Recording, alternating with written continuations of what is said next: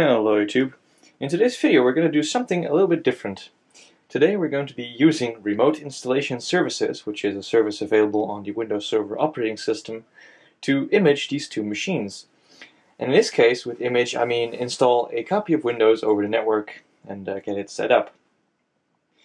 The system on the left is the Compaq iPAQ Legacy Free Edition PC with a Celeron 500 MHz and 256 MB of RAM and on the right, we have the Compaq Evo N1020V, which is a Pentium 4 machine with a gigabyte of RAM. We're going to be installing Windows 2000 Service Pack 4 on the iPAQ and Windows XP Professional Service Pack 3 on the Compaq Evo, both at the same time over the network using remote installation services like I mentioned before. So, um, to get into the groove here, let's actually take a look at what Remote Installation Services does and how I've got it set up. Alright, at the desktop now, so let's take a look at how I've got Remote Installation Services set up. I've got it installed on a virtual machine called Legacy WDS, which is what I installed here. I called it Legacy WDS because this is the Legacy Deployment Server. WDS stands for Windows Deployment Services, which is the successor to the Remote Installation Services, has quite a lot more options, but the main difference is the uh, that WDS dropped support for Windows 2000 and Windows XP deployments using the regular installation method for copying the i386 folder. The uh, WDS uses Windows image files, or WIM files, in order to deploy an image. This was introduced with Windows Vista and was used well throughout uh, Windows Vista 7, 8, 10, so it's still in use today. But Remote Installation Services doesn't rely on that, it just copies the Windows image from the i386 folder. So in order to deploy Windows 2000 or XP, you need Remote Installation Services to uh, get that working correctly. So in order to add an image to Remote Installation Services, you basically just need to run through this setup wizard here. Here you can add a uh, new operating system, and just point it to the installation files and it will start copying it over. You can give it a name, etc. I'm not going to go through how to set up it, uh, the entire thing uh, by itself. In order to run Windows installation services, you need uh, you can choose two operating systems. You can choose Windows Server 2000, which will support uh, remote installation services throughout, or Windows Server 2003, uh, RTM, or Service Pack 1. Service Pack 2 introduced Windows deployment services, which means that if you don't have your legacy images set up already, you cannot use it in legacy or mixed mode, and it will not work properly. That's at least my experience in this. So uh, sticking to Service Pack 1 for deploying 2000 XP is the best way I've found. We're looking at a different virtual machine now. This is LFSL1 or Legacy File Server number 1 and uh, I use this to get the files to the machines uh, in this case the driver files. So it's just you know a separate Windows server that I built or that I set up in this case uh, to share files with older computers. This is not part of my test lab domain. Let's just take a look at this here. This is a standalone machine with Server 2003 R2 Service Pack 2 fully updated. And uh, I've got the drivers listed here on a share. This is the uh, Evo and this is the iPAQ. The iPAQ should not need any drivers, it should be all out-of-the-box experience, but uh, the Evo definitely needs some uh, attention. That's a very big difference between remote installation services and uh, Windows deployment services, and the uh, including the Microsoft Deployment Toolkit, is that you cannot deploy drivers as easily. Uh, WDS will just allow you to slipstream the driver uh, in the installation process, so that's pretty handy. You can just uh, basically say like, well, with this image I want to use all of these drivers and it will install them for you during the installation process and setup. You cannot do that with remote installation services to my knowledge, so you need to install the drivers manually or integrate them into the uh, install image that you added to the server. What you could also do is install a server, capture that image, and then use that on your installation services. I'm going to do it the hard way. I'm just going to install the uh, bare bones Windows images, activate them, install the drivers, and get that set up. It could be more streamlined, but I basically have so many different machines and I don't keep them for a long time, so actually completely imaging the machine is not very useful to me. Right. So, the next step, the next thing we need to do uh, is set the machines upstairs on the attic to network boot so we can start copying the files over the network. You're now looking at the BIOS screen of the Compaq Evo N1020V, which we're now preparing to set up for booting over the network. First of all, we need to make sure that the network boot is on top, which it is, and PXE support is enabled, which it is. We need to use PXE in order to get an IP address from the DHCP server, which will then contact the boot server and start loading the files over TFTP. That's basically the process behind it which means that it will copy the files over the network using the TFTP protocol to the correct IP address that DHCP has supplied to the machine. So this machine is now set up for network boot, so we're going to turn it off. And now we're going to look at the HP iPAQ. HP, Compaq iPAQ, Jesus Christ. In my line of work, I only use HP products these days, so it's quite annoying sometimes. I don't actually know the BIOS key for this machine, I haven't used this in years All years, months. I'm gonna assume something like delete. Disk controller failure. The drive is installed, is not installed correctly or has failed. Uh, oh, apparently I upgraded the disk to a 40 gig drive.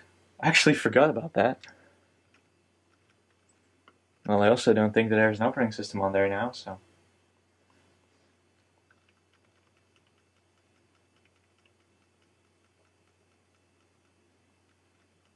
Yes.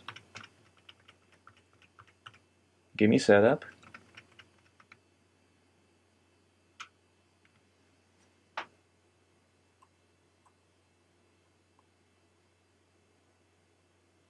Well, that's not good.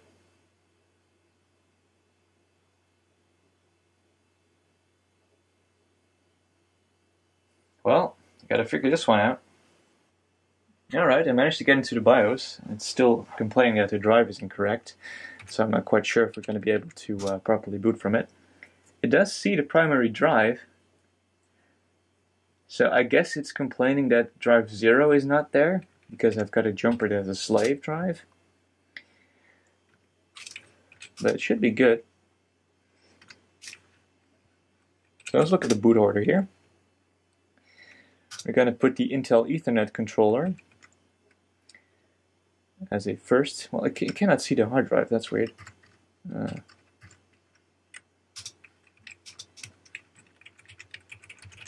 I can't seem to modify any of this.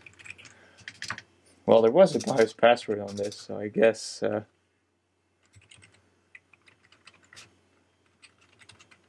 I guess that makes sense that I can't edit anything.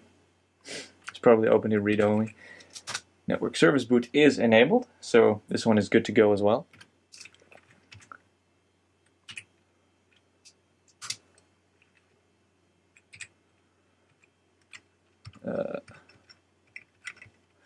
Yeah, I can't edit anything, it's all locked. Okay. Well, it is set up correctly, so I guess that's good. So I guess we're good to go. We're going to find out soon. First of all, we're going to see if we can boot it from the network. It's typically the F12 key.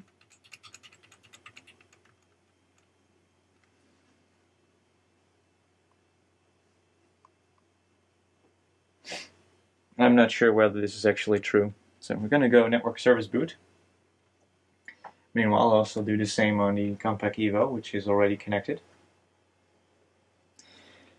Boot.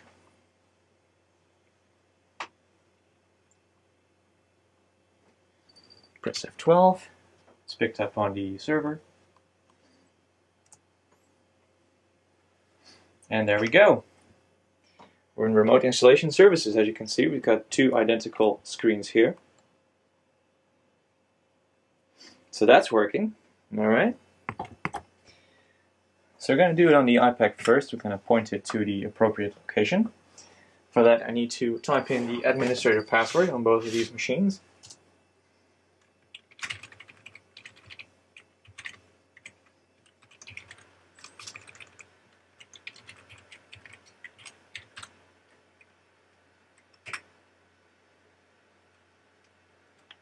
Going to do it on the iPad or the uh, Evo as well.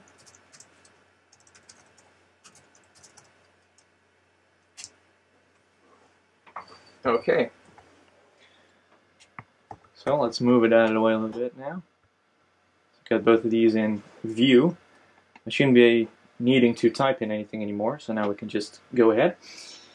I'm going to go with automatic setup. And here we can choose a couple of images that I've stored on here. The top one is Windows 2000 Professional Service Pack 4 in Dutch. The second one is XP Home uh, RTM in Dutch, XP Home SP2, and XP Professional Service Pack 3. So, on the iPAQ we want Windows 2000 Pro because that's what I've got a license for. I will probably put Windows XP on it at some point just to test it. I'm going to put XP Pro SP3 on the uh, on the Evo here. So let's press the Enter key, and once more.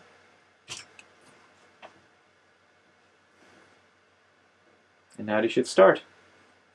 The iPAQ is off to the races.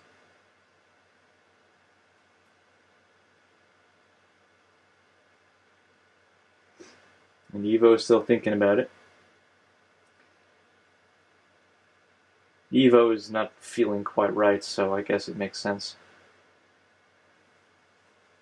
By the way, I'm really wondering whether the uh, will actually pick up the hard drive and we'll be able to boot from it. But uh, we're going to find that out.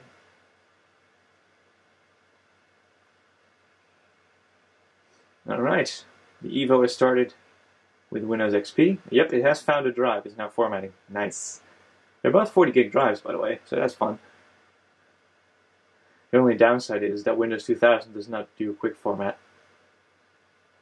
So that's going to take a long ass time for 40 gig. And Windows XP is done.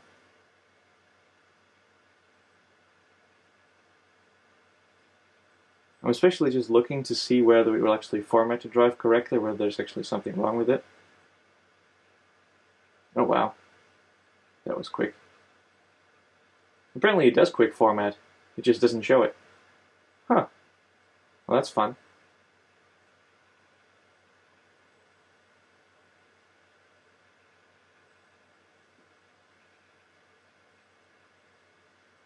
Alright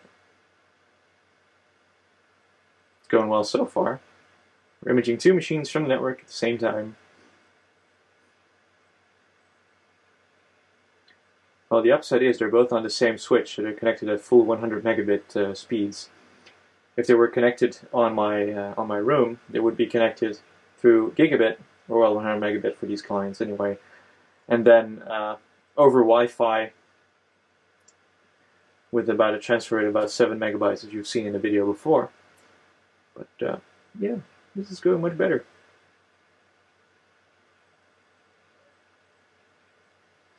Windows 2000 is now actually ahead because it has less files to copy. Well, once this phase is over, I'll actually uh, catch up with you guys, so uh, let's uh, see you in a bit. Windows 2000 is already ready for its first reboot. So I figured it would be a good moment to turn the camera back on.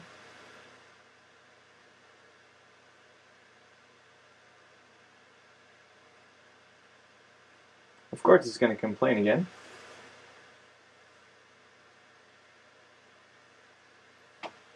Let just get down here keyboard and boot.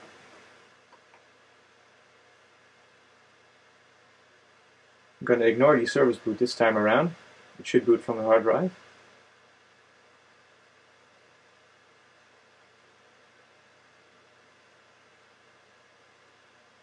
Or not. Huh. Well, it turns out, it's actually not bootable in this mode.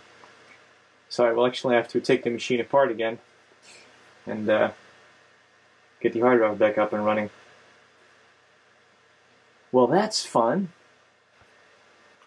Alright. Compaq iPAQ is up and running again. And now it sees a different disk. Sorry about this. Get into it a little bit. But yeah, the Evo is now in the lead because of these shenanigans. It only took me about two minutes to uh, correct the issue on the iPAQ though. it was indeed uh, set to slave mode, and it will not boot natively from a slave, apparently. Which is interesting. Now just wait for it to finish its boot up sequence, and it should just boot normally.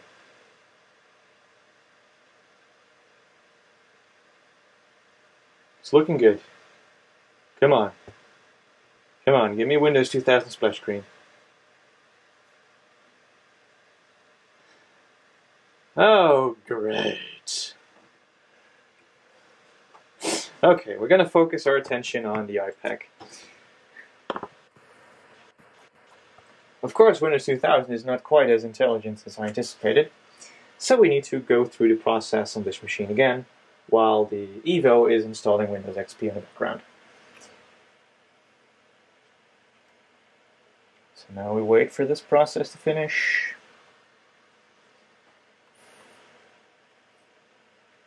Network service boot. Yes, please. Don't mind if I do. Press F12 again. Bruh. I pressed the goddamn button.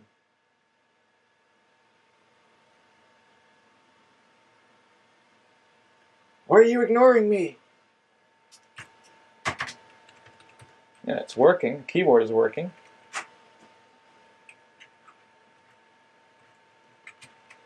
Come on. Give me that sweet network boot.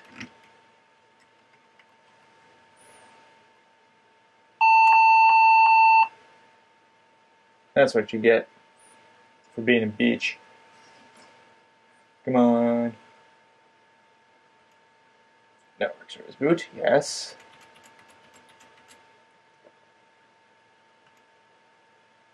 There we go. Oh, I gotta fill everything in again. Yeah, you can't see that. Okay. Um, administrator.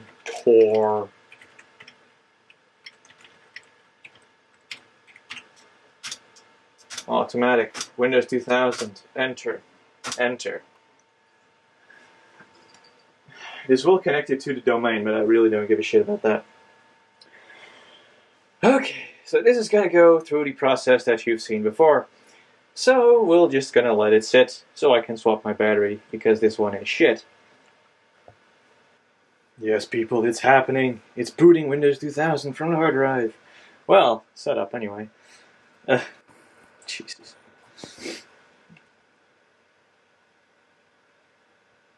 And meanwhile, the Evo is uh, doing its job. It's now running the network setup portion of Windows XP setup. That seems to be working okay.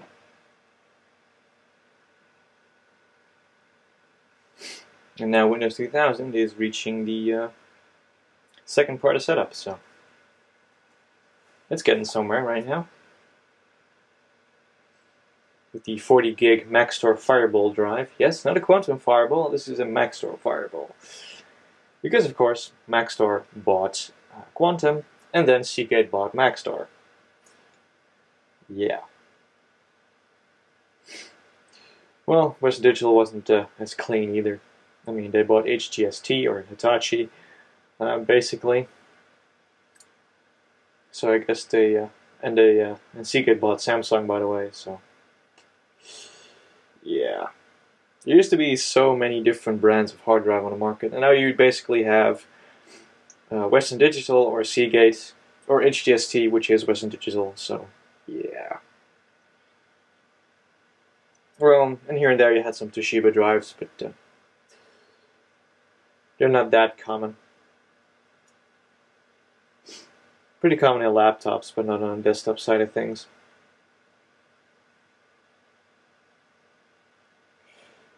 But uh, yeah, setup is going very nicely at this pace, so things are going very well. Something I want to address here, while I'm just uh, talking to the camera here, um, you might consider like, well, why would I want to do a remote install over the network anyway? Just pop in a CD and just in install like usual. I mean, that's basically what I'm doing right here. I'm just not using ECD. I'm using the network as a medium. Well, it's a good question. And uh, there are a couple of reasons why you want to go with a network installation. First of all, you can do multiple installs at once. Uh, there are also ways that you can do this unattendedly if you can just uh, if you use the unattended XML file that comes with the Windows install CDs or just add them to it, you can completely script your installation so you can just run it unattended and go away. And just, you know, walk away, do something else, and once you uh, get back, it's fully installed. Another reason would be uh, if you actually have a problem with your CD drive or your optical drive, and your system is too old from to boot from USB, then the only real option is to either go floppy, which is a very bad idea for a number of reasons, or you can go booting from the network if your system supports network booting or PXE. Well, you actually need support for both, and they're actually intertwined, but you know, anyway. Uh, so yeah, so there's that. In my case, I went for uh, for the latter. I mean, the uh, the Evo has a wonky optical drive that works great sometimes, but completely refuses halfway through Windows setup the other time. So, and uh, the iPAQ does not have an optical drive at all. It doesn't even have a floppy drive. It has no way to install an operating system other than uh, over the network. So, yeah, so there's that.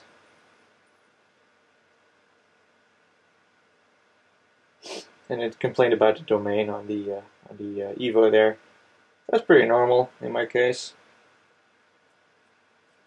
I don't want it to connect to the domain anyway, so I just ignore the error. So we'll just go in workgroup mode.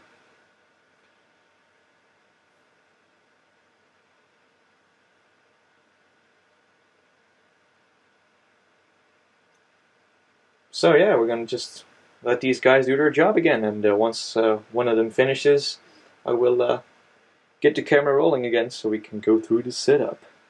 Oh yeah. Well, as you can see, the uh, iPAQ is still going at it, but it's uh, definitely uh, almost done now. And the Evo is now going for its first boot. So we're going to go over to that and take a look at that first. And yes, all that noise in the background is in fact the Evo because it is a desktop Pentium 4 in there and not a laptop Pentium 4. It's a 2.4 gigahertz Northwoods, so yeah, it gets pretty toasty in a laptop like that.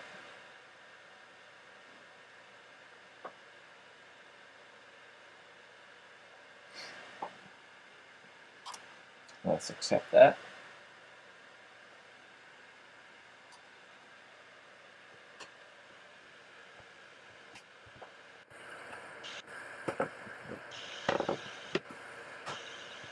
Get that zoom level just right. Alright. So, are we gonna get intro music, you think? I'm guessing no. It's pretty old. But then again, it has such an enormous amount of drivers available on the website, it just wouldn't be surprised if nothing is out of the box, except the network, maybe.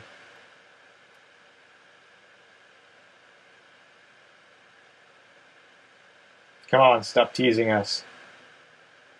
Jesus Christ.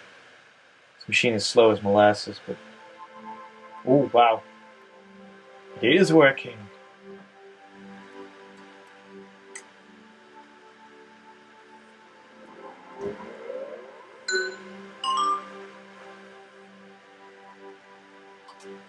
Well, that's neat.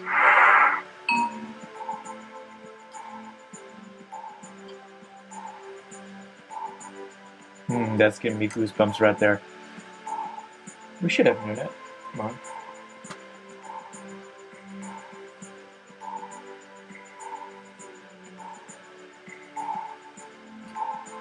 we have a LAN.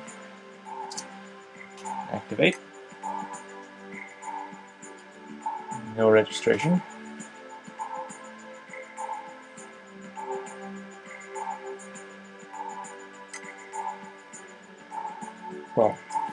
put in my name.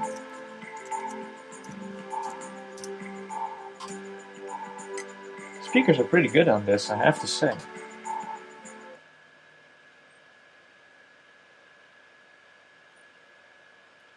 Rip headphone users. It's gonna be loud.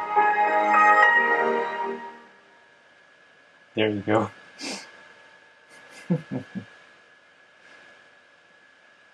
Alright, so the iPAQ is now saving settings, so it's gonna be done in about a few seconds. Which is pretty good timing, honestly. I mean, I had to freaking tear it open. Alright, so XP is now installed successfully. The iPAQ will reboot in, well, literally like 4 seconds. First I want to see which drivers are actually going to need. Okay, just video. Everything else is out of the box. Sweet. It has, uh, I think, ATI, IGP, something 340M, I think. But uh, yeah, let's leave this for now and attend to our Celeron over here, the venerable Compaq iPAQ, and see what's going on over here.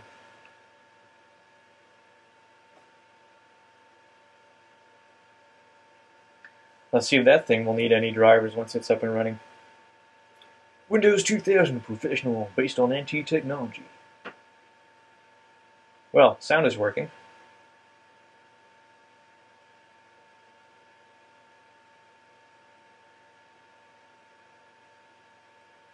Holy balls, that was fast. I only rarely ever see Windows 2000 boot up fast. wow. That's remarkable. Well, video is working, I can tell. So that's good. It has an Intel, what is it, 810 graphics. I'm not going to use a password, I'm just going to log in. That's not as nice of a speaker, but it is definitely loud. Sweet Jesus. Wow. So far, this project is going pretty well. That's rare for a video of mine. Sometimes I feel like Druaga 1, where just everything is going wrong. Apparently, uh, we're lucky today. Aside from that little hiccup with the uh, jumper, which I never checked because I just upgraded the drive and put the machine in storage. Uh, can we do 24-bit color at 1280? Yeah, we can. Good. Let's try that. Yes, this monitor is utter crap, so. But yeah, it does run at full resolution on here, so that's good. I'm gonna put it down a notch. Let's do 1024 768. Yeah, that's better. Okay. That's also the native res of the Evo, so it's looking pretty sharp. Let's see here. Hardware, device manager. Nope, you don't need any drivers at all. Intel 810 graphics, AC97 audio, some something. Intel 82559 fast Ethernet LOM with basic alert on LAN. Okay. That's interesting. 40 gig Maxtor, generic USB everywhere, everything. Got freaking six USB ports on this baby. I think it was six. Anyway. But yeah, 2K is working. Let's see if we can get on the internet. We probably can. Find out. Email, what the hell is that? What the hell is an email? I still use regular parcels, man. I'll stop right now. Okay. It's Internet Explorer 5. Of course it's going to throw errors. God damn. Yep, it is working alright. Sweet. Let's see if we can get it onto the network on computers nearby. Probably can't. Nope. Work group is not accessible. Service was not. Alright. Windows Network. Yeah. Work group. Nope. Okay, we cannot access the network on this right now. I don't really care because we don't need to do anything. It is imaged. Now I can just connect this up to some shares. I will just uh, have to look and then put some software on it, but that's really not the point of this video. I just wanted to get this thing imaged because it's taking forever. Now, down to this bad boy. This thing only needs its uh, Ethernet driver, or Ethernet uh, video driver. I'm just gonna lower this thing so we can get more on level with this. That's key in communication, get on the same level as your subject, right? That's all fun and games. The screen on this thing is shit, so yeah. Let's go to my network locations. This thing should be able to get a connection going. Look for computers in workgroups. If that doesn't work, I'm just going to manually map to the server. I really don't give a shit. We're using that word a lot today. I don't know what's up with me. Make sure the network cable is still in there. Well, there's one thing I've learned. Once that thing freezes, that's not a good sign. Kill it. And also kills Explorer. Cheat. Oh, there's Explorer again. Spooky. Never mind. We just manually map the drive. Well, we need to do use two network locations anyway. Don't want to map it actually as a drive with a letter. There's no point. Uh, let's see. Slash slash LFS01 data. Enter.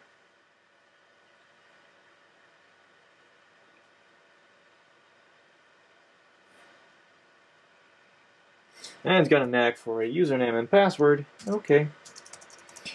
I thought I had this set up for anonymous access, but apparently I haven't, so I guess I'll have to look into changing that.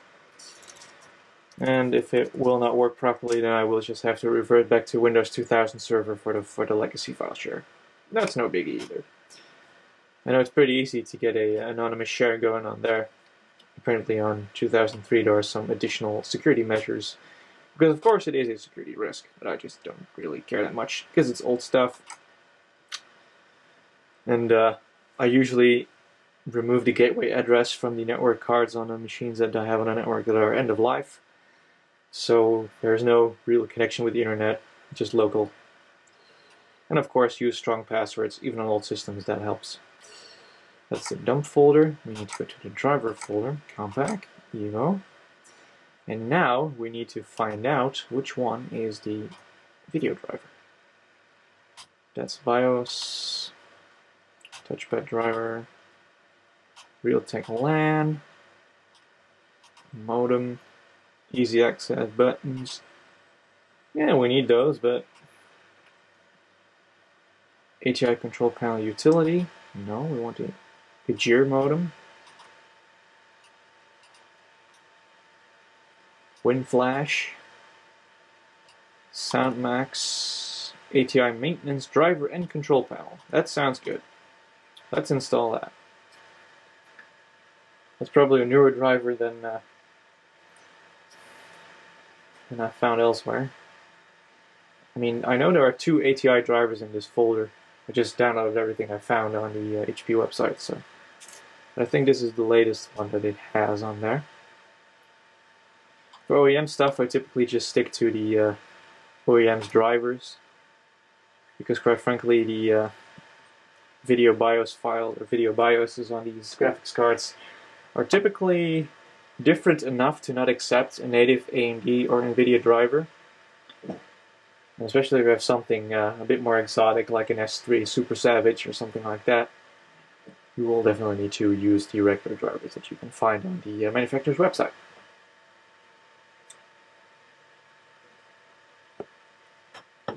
I just noticed that it actually veered off a little bit on my tripod. Yes, I want to reboot. Let's do that. And now, I will be very curious about whether it's going to have working graphics or not, because I don't know. Compaq. This is probably one of the last Evos to actually bear the Compaq name with a full Compaq firmware. I mean, if you look on the bottom, it actually says HP. The COA is HP, but uh, yeah. At least uh, the BIOS is still Compaq and it's still a Compaq design machine.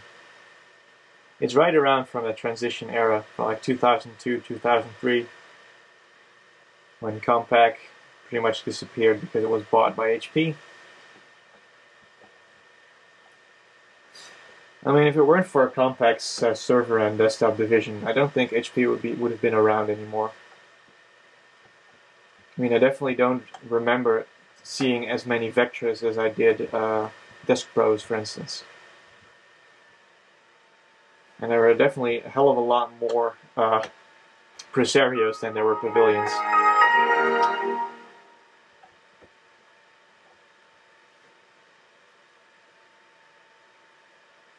At least here in the Netherlands, where Apple wasn't as popular back in the day either. So, but yeah, we do have full uh, driver support on the video now. So I'll actually go into the properties here. Radeon IGP 340M. Okay, it's using a little bit of system memory. I think I've set it to yes, 32 megabytes.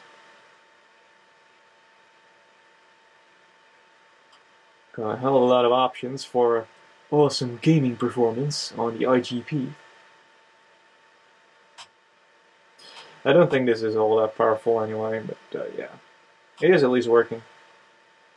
So let's shut it down, so we can actually shut this video down as well.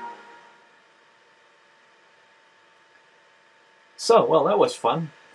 We successfully managed to image two vintage machines, well, at least close to being vintage now, using remote installation services from Server 2003.